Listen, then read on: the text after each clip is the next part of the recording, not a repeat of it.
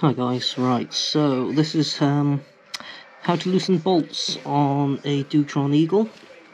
Um, the bolts on the rims are quite heavy with Loctite, so what you need is a, is a good 4mm um, Allen wrench. Uh, right, so what I got here is a butane soldering iron, but with a blowtorch head and what else you need? Is a bit of foil. So what I'm going to show you is this bolt here. It's probably seized down. Yeah that's not going anywhere. So what you do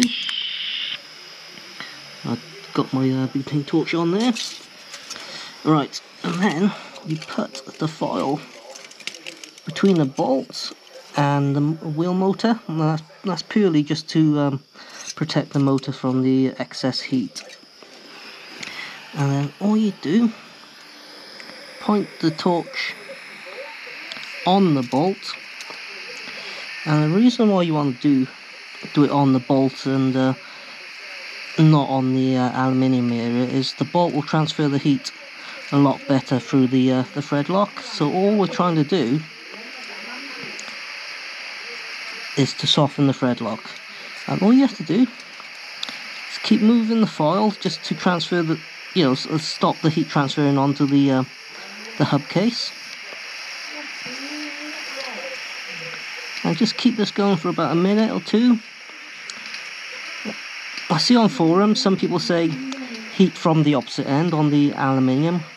I, I don't really recommend that because the heat will definitely transfer onto the motor. But doing it this way, I'll show you. Now, after a couple of minutes, the aluminium around the bolt will still stay cool, but the bolt itself will be piping hot.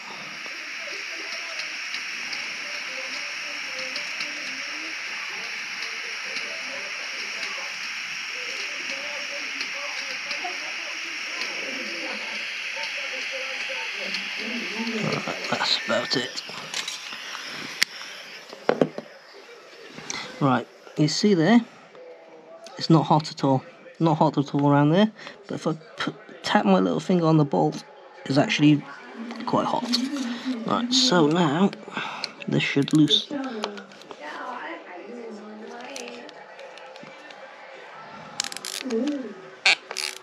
There we go.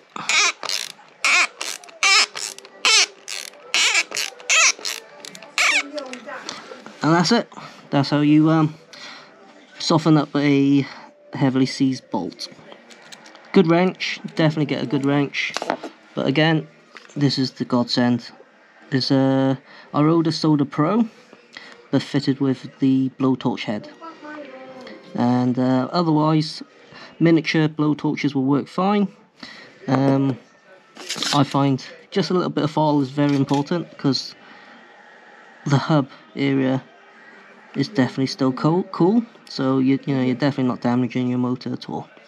Alright, cheers everyone.